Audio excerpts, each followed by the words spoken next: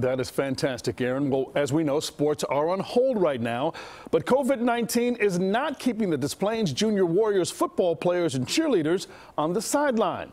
Many have started tutoring their younger peers as schoolwork piles up during the pandemic. But, but big.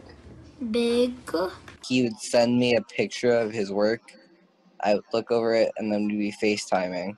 He makes it easier for me to to read. I've been tutoring Sophia. Son, son. She has this work on her iPad. Last time what we had to do is we had to make we had to make words that had the un, like un. Fun, fun. The hard thing is like to do stuff that I never done before. Helping someone, it it gives you that warm feeling inside that you're like changing their day.